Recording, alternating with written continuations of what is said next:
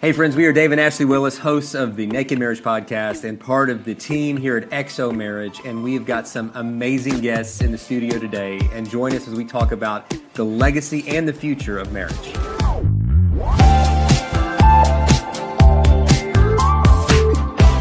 Hey, friends, welcome to our first ever XO Unscripted. And it is the first ever shoot we're doing Wow. in this brand new facility. This is just a dream come true. I mean, years and years of planning and praying, and we have got the founder of the ministry, Pastor Jimmy Evans, the man, the There goat. he is. The There. I mean, Come on. 50, I can't believe I'm here. I mean, I, c- it's just we're gonna have so much fun. Yes. It's, we're celebrating Pastor Jimmy and Karen's That's 50th right. anniversary, 30th uh, anniversary of XO marriage, and we've got our friends Jimmy and Irene Rollins. Come on. probably our coolest friends. That's Everybody right. needs like at least one set of like legit cool so friends that Yes. just when, just by association people think you're cooler. Oh. And I tell people I know you guys, and all of a sudden my you know my cred goes up a little bit. You know they're right. like, you know them. I'm like. Well, I tell people Yeah. that you're my fashion consultant. Oh wow!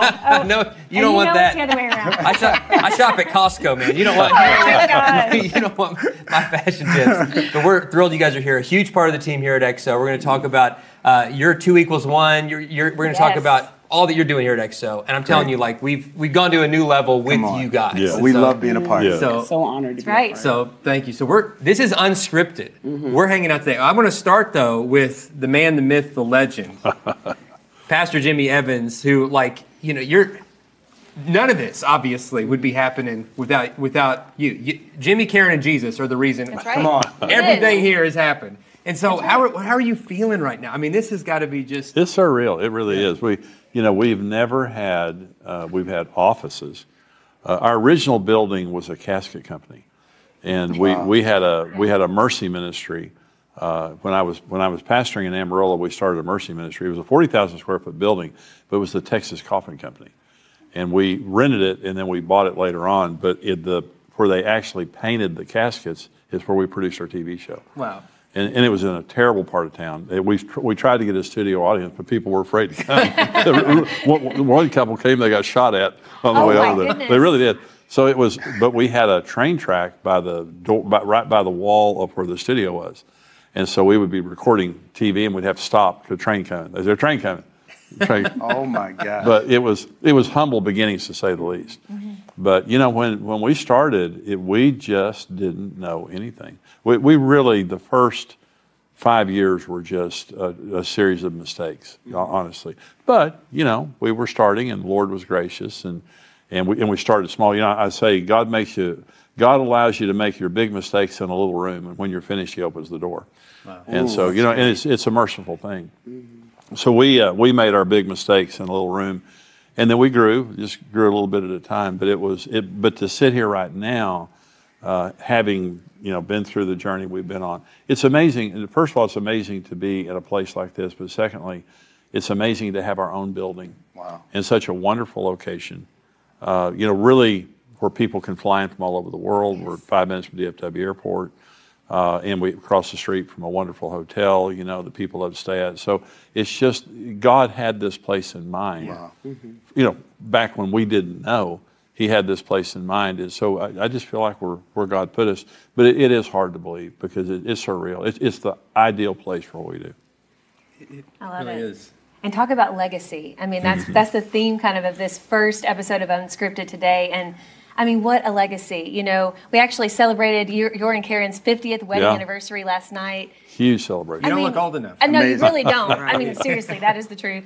But I mean, just hearing the stories from lives that have been touched by both of you and what you have done in this ministry, um, and we're we're some of those people. Yeah. Yeah. And I know that you guys are some of those Absolutely. people. It's just it's just the coolest thing. And I've shared this before, but I haven't shared it um, recently. But I wanted to remind you, Jimmy, that the first time we came across you and Karen was when I was actually at my lowest point in my life, Wow. and I was going through um, a terrible bout with anxiety and depression that had gone on for years. And I often, in the night, when it would hit me and I'd be having panic attacks, I would turn on Christian television. And you guys were always, it was like you were one of those shows that I would always watch the whole Wow. show. Wow. Wow. And you just brought me hope. I mean, you brought me hope and you met me right where I was. I think your authenticity uh, was something that always made people like me lean in Right. and, and just give me hope for the next day. And to think that all these years later, you know, we joined the team about six years ago. Yeah. What a full circle moment. Yeah. I mean, and I know that my, our story is like the stories of so many other people that you, it just, what you guys have done and how God has used you has touched people all over the world. And I know that Dave and I um, and our whole family, we're just so grateful to, to have Oh, been yeah. some of those people and Yeah. to be alongside you now, being part of this incredible team. Grateful doesn't even. Yeah, sum it doesn't, up. It, it sounds, yeah. You know, we, we, we started doing, when, when you do television, you don't know who you're reaching. Right. You know, you're yeah. looking in a camera. And I was sitting in an airport one day. We'd probably been on TV, you know, for five or 10 years at this point. And I was sitting in an airport one day flying somewhere, and this bad looking guy, bad looking guy, just started staring, staring at me. And I, you know, you know when someone's staring at you. Yeah. So, I'm, you know, so after a little while, I just looked at him and said, How are you? And he said, You're that marriage guy on TV. And I said, Yeah. And he said, I'm third generation drug cartel. And he said, Every man in my family beats his wife.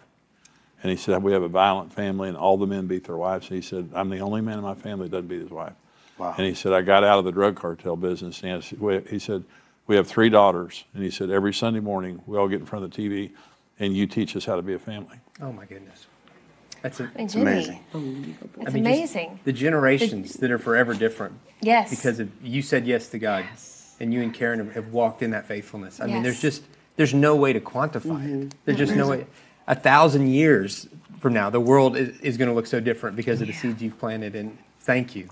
But just the, thank you. Uh, knowing that you're touching lives. But the thing that Brent said last night uh, at the celebration was we want to leave an army behind, and that's who you guys are. You know, it- Karen and I. You know, for us to, when our taillights bob down the street one day, you know, you guys will take our place, and that, that's just. A, the so honored, Pastor Jimmy, to be a part of this incredible movement and legacy. Um, the first time I ever laid eyes on you and Pastor Karen, you we were um, at home watching Christian TV with a little one in full time ministry. Um, had left six figure salaries to for like under thirty thousand with a family and Small rooms. yes. Yeah. up in small rooms. yeah, setting up in small rooms, and I we just didn't know what we were doing with marriage, and just to look at the screen and to hear your authenticity about your own story, your own journey, and then how it was similar to my husband.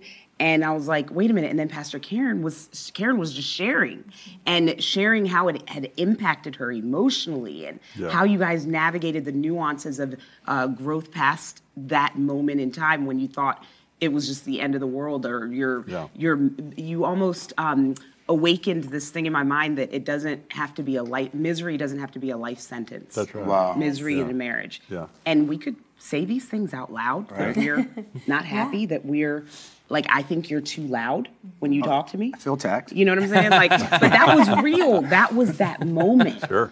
because I had PTSD. I didn't realize Yeah. that how he spoke to me impacted me greatly.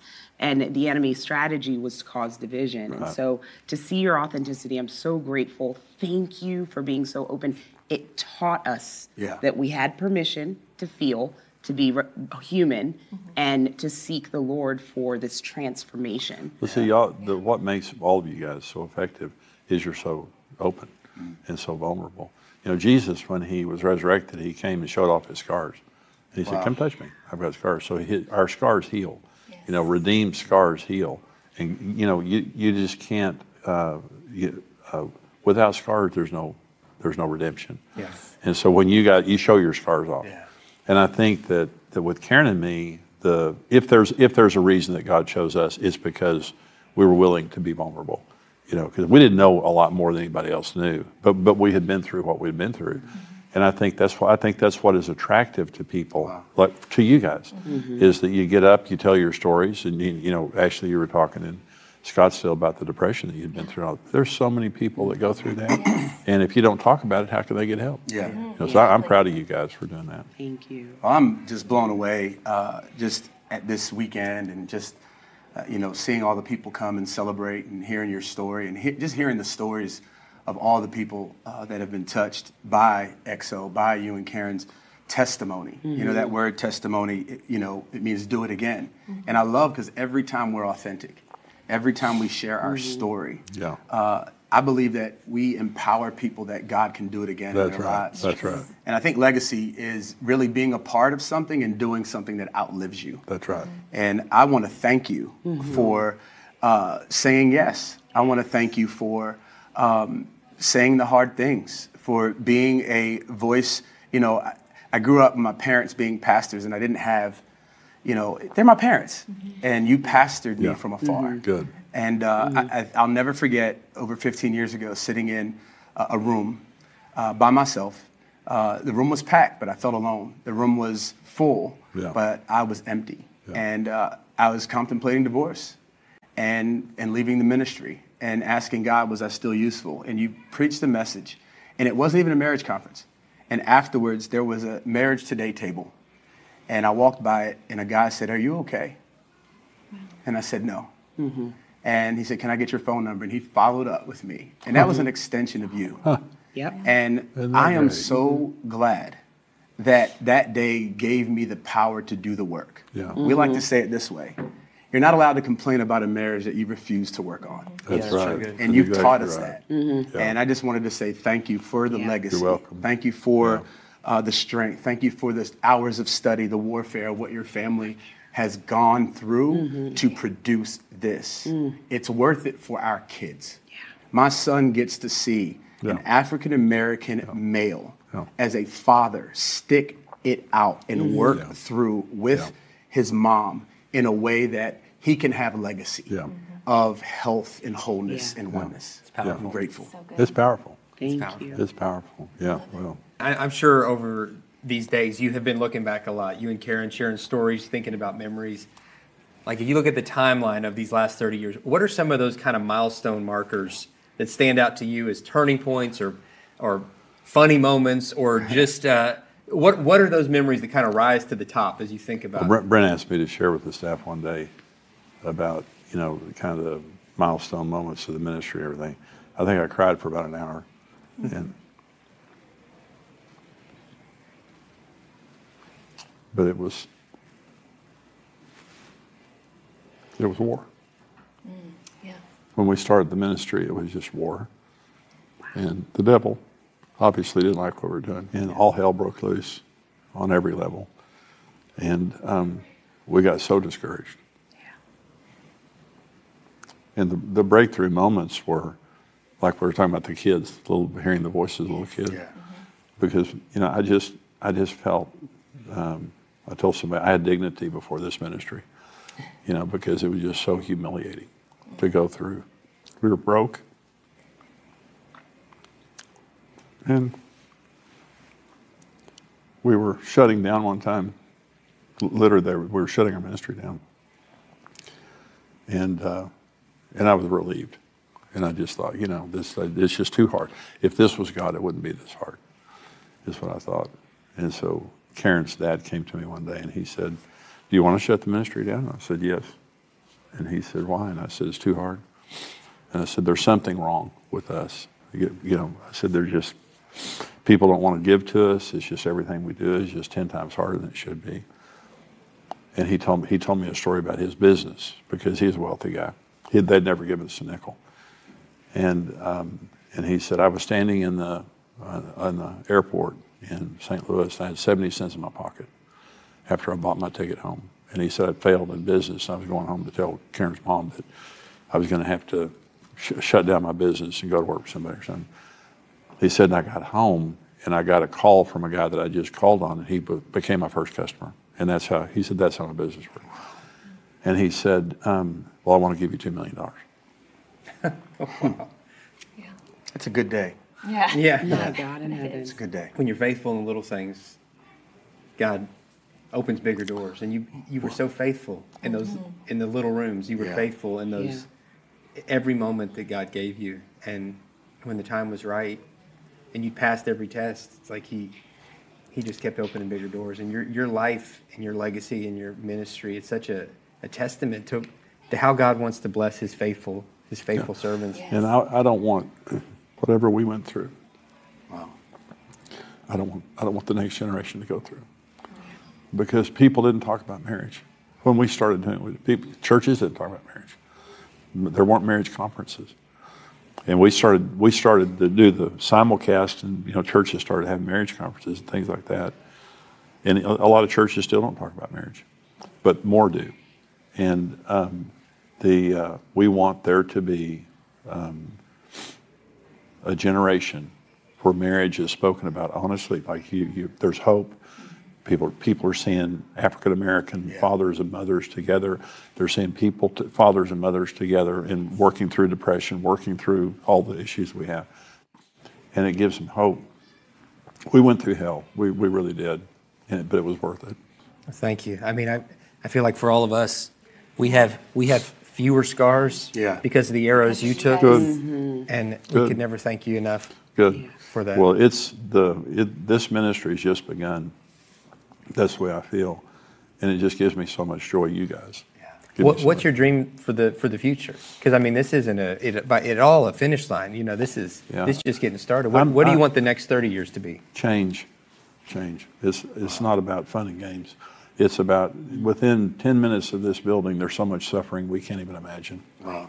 you know, and I want to change that. Yeah. And the suffering comes from broken marriages. You know, when when uh, when people aren't married, or when the marriage breaks up, everybody suffers. Men suffer, women suffer, kids suffer. And what when I woke up those three mornings back in 1993, and I had the vision for this ministry, it was to change America. You know, we we would sit in our little, all the staff in my little office, and we would sit in the office and I'd say, "We'll change America." the divorce rate will drop, the marriage rate will increase, children will be together with their parents. We'll see the culture change, because that's what I believe.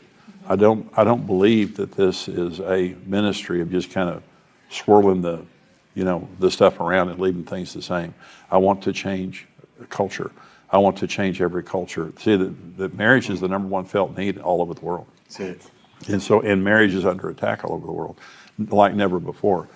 And I want to, I, I believe from here, we will change America. We, we will see a revival of marriage like never before. You know, and just like, it's just like the Jesus Revolution movie that's out right now. Just when you thought there was no hope, here come a bunch of hippies.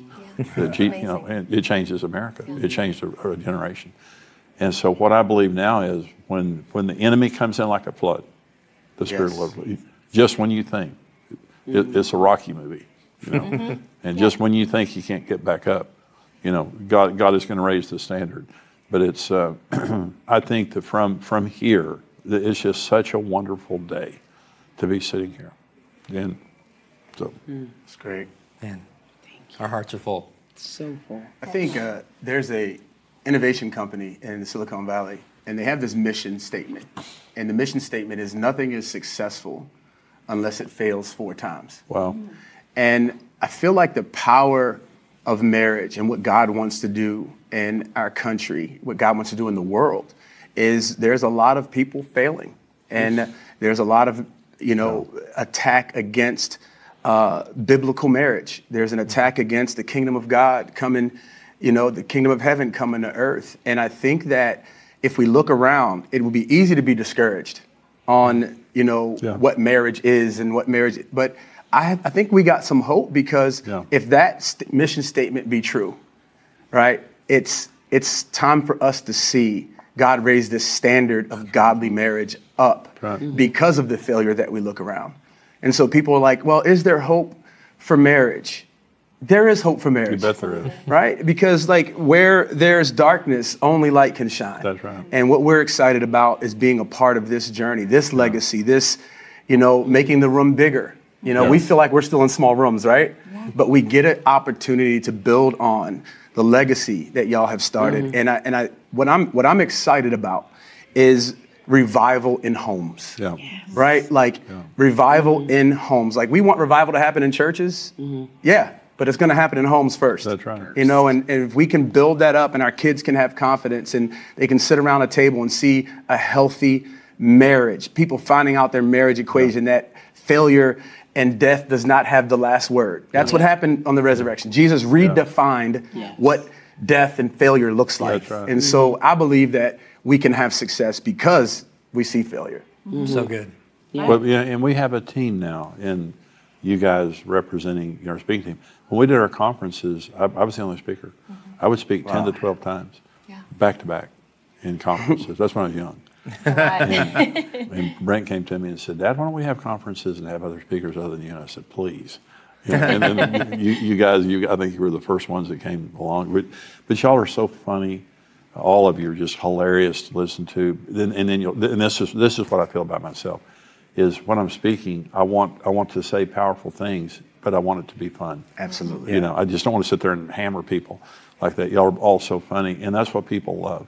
It, it makes it it makes it desirable, you know, to sit there and listen to something that's penetrating your soul. Yeah. You know, but at the same time, so you got, but we have a team for the first time, and again, that gives me hope because and it'll just continue to grow. But y'all y'all are the first team, and uh, so y'all y'all y'all have got tremendous insights into because you you all have your own scars, but at the Yeah. same time you have a gift, and you're tremendous communicators. And see, Karen Karen. Uh, and she was she would say this of herself. She doesn't like speaking, and the, the what she did on the TV show, we never we never rehearsed anything on the TV show. Is we would have a teaching segment, and then we would sit down and we would just start talking. Just talk. And she that's that's what she's good at. is mm-hmm. talk. But you guys are such great communicators together, which is very unusual. We've never we've never we've had one I think one message together in our.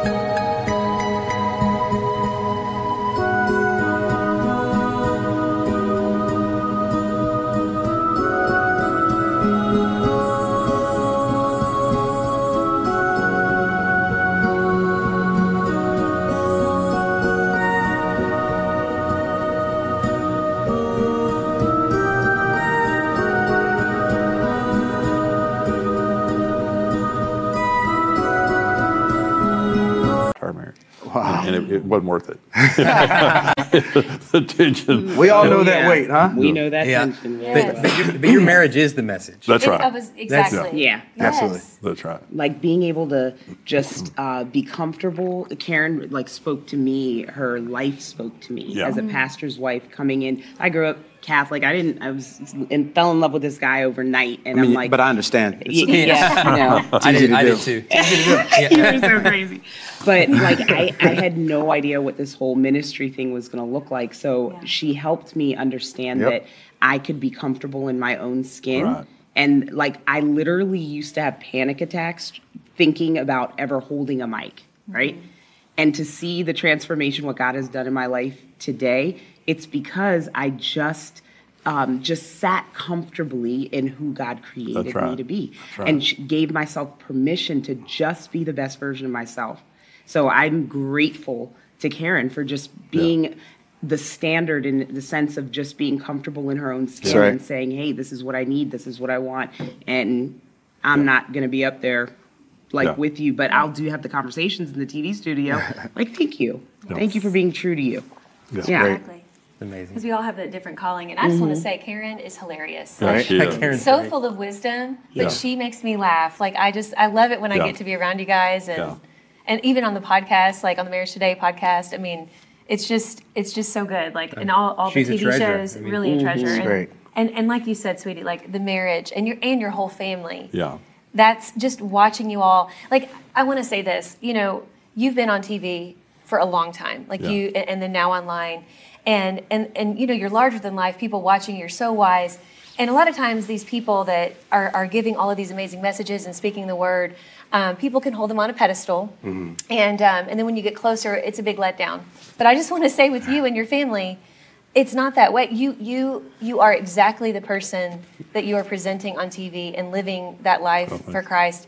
And to, to us, Oh, it's yeah. just so It's, such a gift to see. it's such a gift. We've And learned more it's- from you yes, behind yes. the scenes, just watching you interact with your family and watching how you lead and love in your faith. and the authenticity, the Yes. vulnerability. Yeah. Um, and it's just it really is, and I think too it um, it challenges us to always keep it real, to always be authentic, and Mm-hmm. um, and just really it, it all comes down to following Jesus and all I've, this. I've been around preachers. Y'all, y'all been around preachers, yeah, and a bunch of high-powered preachers. And I have several uh, pastors that have impacted me the most, and they were the, they were the most real. Yes, yes. great. And the ones that I that just turn me completely off are the ones that are on, and then they're behind the scenes are monsters. Exactly. And- Exactly. But but you know, Jack Hayford was one of those, and for me, and there's others, but they were just so so real, and that's that's my my goal.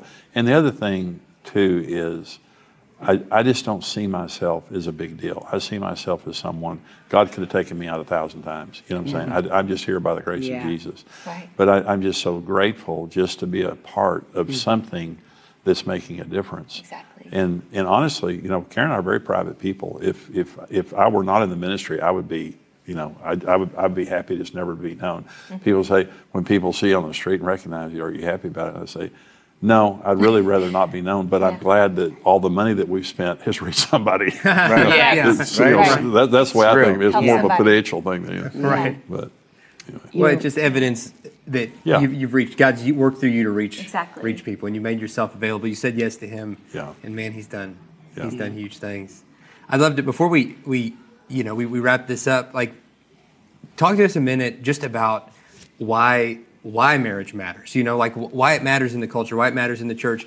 Because as you shared with us, you know, publicly and, and behind the scenes, you know, people are losing sight of that. You know, mm-hmm. people are losing sight of why it's important to be married. Churches, you know, sometimes aren't aren't as focused on it. And a, a real legacy of your ministry is just raising the importance and the prominence of it for God's plan for it in a world that seems to have just forgotten that. And so I'd, I'd hate to have this conversation without giving you a chance to just talk about your your passion for marriage and why we should all have a passion for marriage.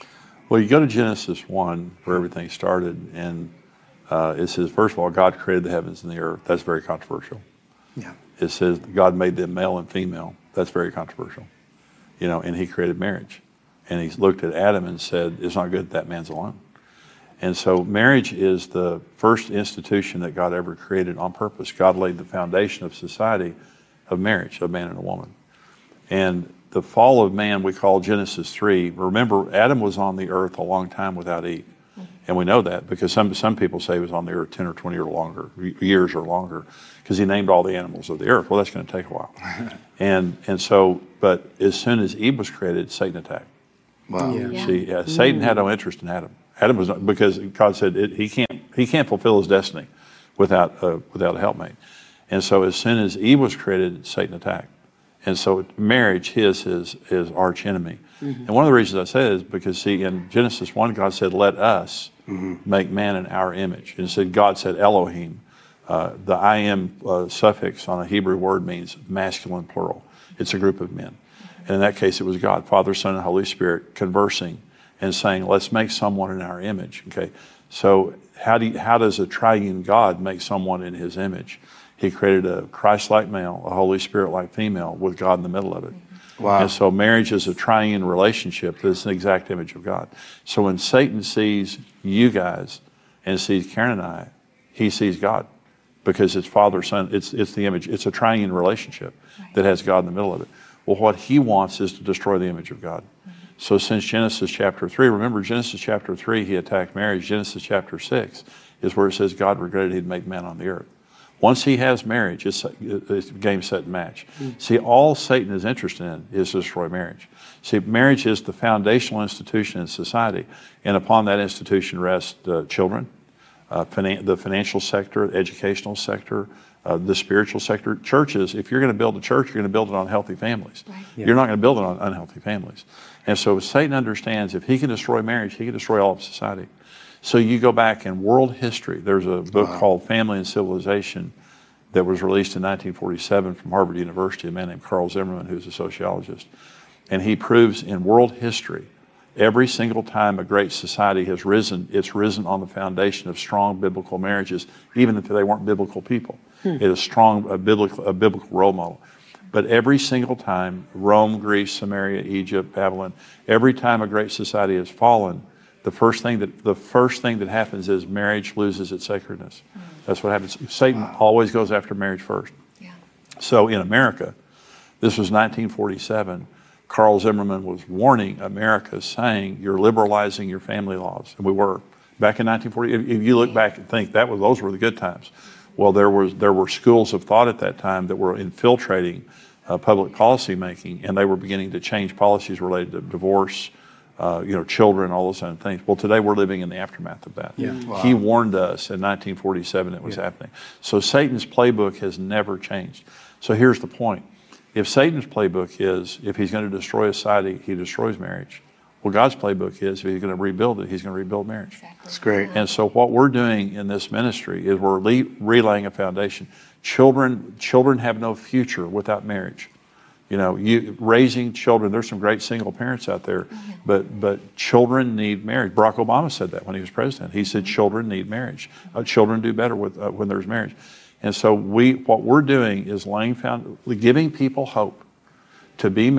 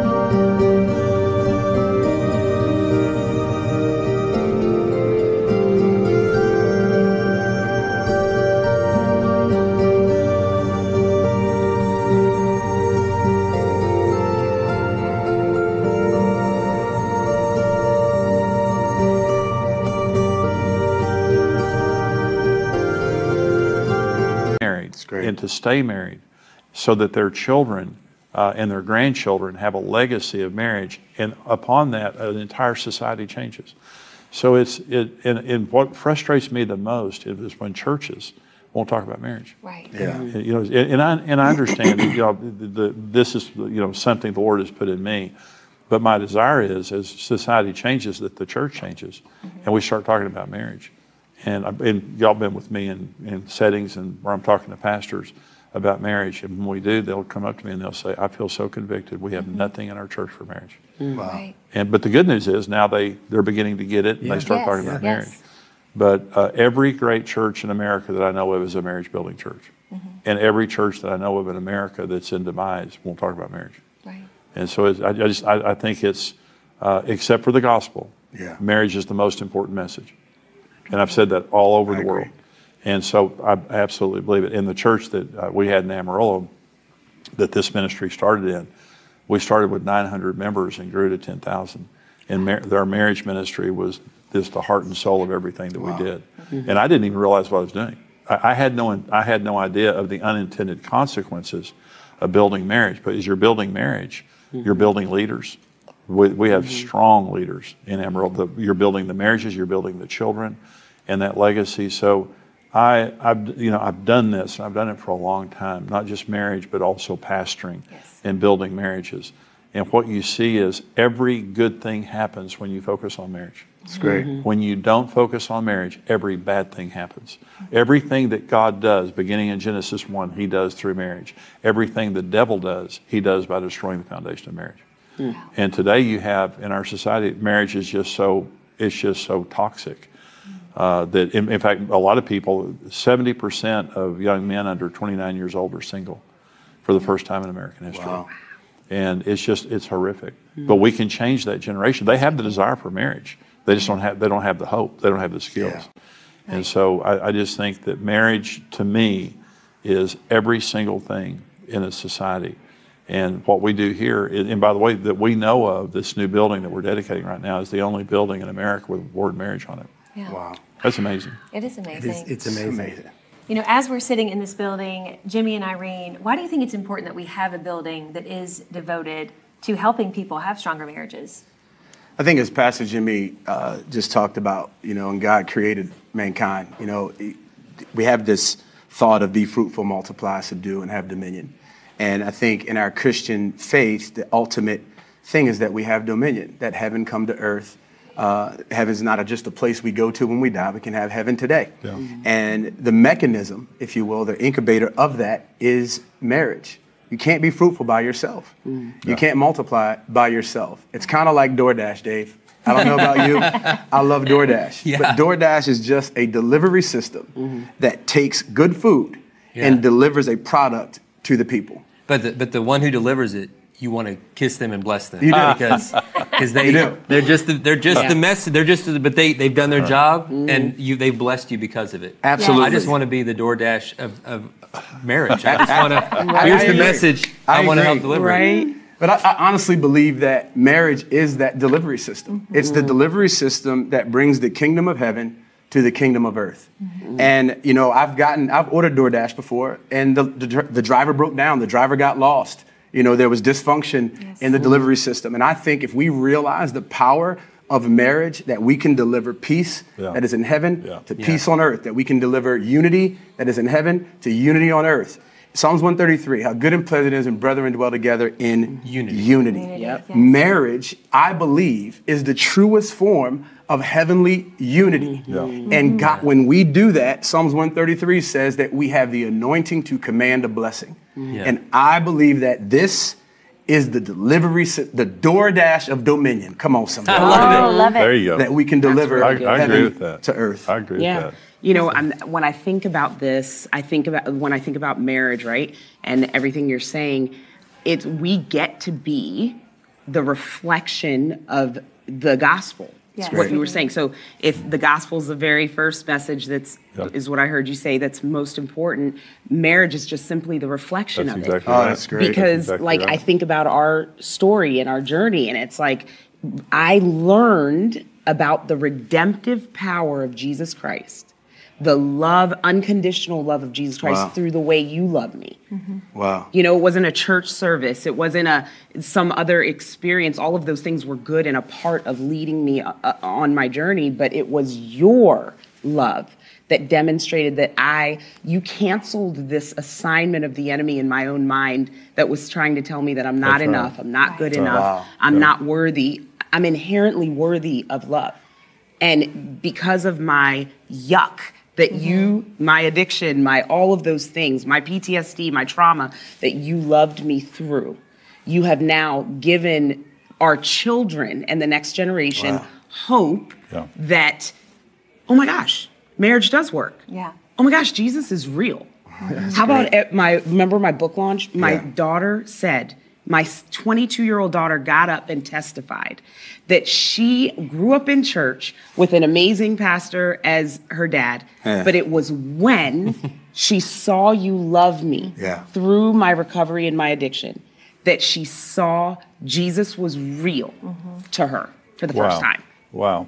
How, powerful. like, that blew me away. Mm-hmm. And it's like, so we get to be a part of that reflection. It's that unity, it's that demonstration to the next generation. And I think that's what this place is all about. Yeah. Mm-hmm. Is we're going to build the kingdom of God through building healthy marriages. Mm-hmm. Right. And we get to do it together. Yeah. Wow. What, a, what an adventure. We get to do. I know. Yeah. It's it's Love an- we were just talking So about that. Real.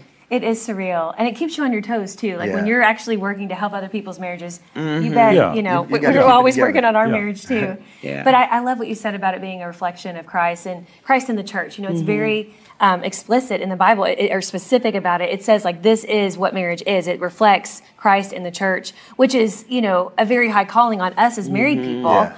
And I, but I, I do I see what you're saying about kids watching like that that is such a comfort to children just even seeing you work through your stuff because Wow. we're not perfect No. but them seeing like oh my goodness they're not giving up on each other. Mm-hmm. It's great. like yeah they're having a bad day and, and mm-hmm. we are we're human beings we're going to have a bad day but mom and dad are going to fight through this for each other Yeah. not against each other mm-hmm. because god is helping them along the way.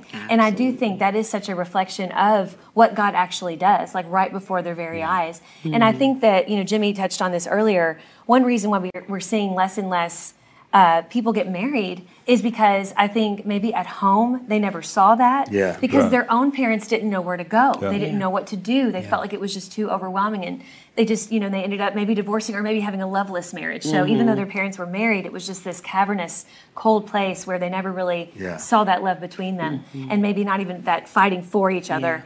And, you know, I think there's that, but I also think there's such a fear in getting it wrong. Like we, we talk to a lot of single people where, you know, they don't have those examples, but mm. also just a, it's like this daunting. That- that's a Can I deal. even do this? That's you know, it, It's it's, such a huge thing, and I love that there is a building here that's not only for people whose marriages are in crisis. We definitely are that. We have our XO mediators who can help. And all the content that's developed here, but also for people whose marriages are good and they want to take it to that next It's great. level. It's great. But one thing I love is that XO, I mean, we're going to be reaching those people who are just wanting to date and get it right and then get engaged and learn how to be married. You know, right. Uh, marriage today, or, or I'm sorry, XO Marriage exists and this building exists to meet people right where they are at all the different seasons of life.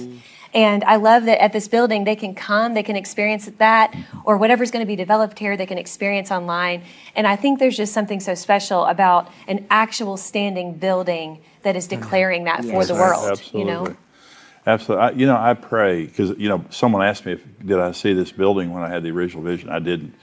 That what I saw was um, that we made a difference. The marriage, you know, the a biblical message of marriage that was very loving and gracious, but we made a difference. One of the things I pray for is that there, we will have a ministry one day that, that specifically goes after young people dating and looking to be married Yes. because the, the two things that are killing marriage right now for young people are dating apps and pornography. Yes. And yes. you have you know the young men out there that are basically getting all their needs met that they mm-hmm. think are, they're getting their needs met. But then also when we have a date and you say something I don't like, I just go back on the dating app and Right. start shopping around. Mm-hmm. Mm-hmm. And so in my generation, we had nothing. You know, we just had to deal with the people in front of us. we, we didn't, we didn't have any, any other choices. Mm-hmm. but today, it's really it's really killing marriage. But see, they, they have this need. God made us to need marriage. Is so most people, mo- over ninety percent of people say they want to be married for a lifetime. They just don't know how. Yeah. Right. And that young generation is the most relationally ignorant generation in the history of the world. And literally, because there's never been a generation like ours deceived so much by uh, the internet and everything on there. So I really do pray that there will be um, a, a movement among the young people before marriage to, to get them, to train them how to date, how to view the opposite sex, how to believe, you know, how to get off the pornography and all those stuff like that. And there's nothing wrong with dating apps necessarily, but they become a, they become a shopping center for, for relationships Yes. rather than knowing, you know, even if this is God's perfect person, even if this is my soulmate that I'm about to marry, we're going to have is- issues Yeah. that we're going to have to deal with. So I really, I really do believe that that um, this building represents the future. Yes. And just like we've seen this ministry grow in 30 years, it's, it's going to exponentially grow in the future. Wow. Yes. I'm I'm so excited to see what the next 30 years Yeah. Oh holds. my And goodness. friends, listen, we want to thank you for taking the time to watch and listen to this. And I'm going to give you a few challenges as we go. Number one, go to xomarriage.com Yes. and check out the many, many resources that are there. We have so many resources available. And if specifically, if you need help for your marriage, Ashley mentioned our mediators earlier. It's one of the most powerful aspects of this ministry. We have a team that's available to, to meet with you here in person at the headquarters or by phone or Zoom uh, to, to make it where you don't even have to leave your home. You can go to xomarriage.com slash help and get all the information about that. I also want to encourage you to check out the Two Equals One podcast with our dear friends, the Rollins. It is pure gold. And if you're not following them on social media, you're missing out. so follow them. And I also, if you really want to grow in your marriage, then I want you to do something that I do often, and that's just go to YouTube and search for Jimmy Evans Yes. and start watching what you see. Because Yes. there, there's so much rich teaching through the years of just this absolutely anointed, incredible uh, preacher and man of God. And I, I've learned so much from you and continue to. And so, Yes. Thank so learn from him as well. Your life will be blessed because of it. My love, any final words? I think you said it all, sweetie. I just want to say, I guess, real quick, I'm just honored to be in this company. I'm telling Absolutely. you, We love y'all. just Thank part of the you. team. I mean, I'm going to probably cry, but it just you touched my heart so much, and um, I'm just so grateful for all of you. We love you guys. Love you guys. We're very Yes. proud of y'all. Glad glad to have you be a part of our family. Thank you. Well, our hearts are full.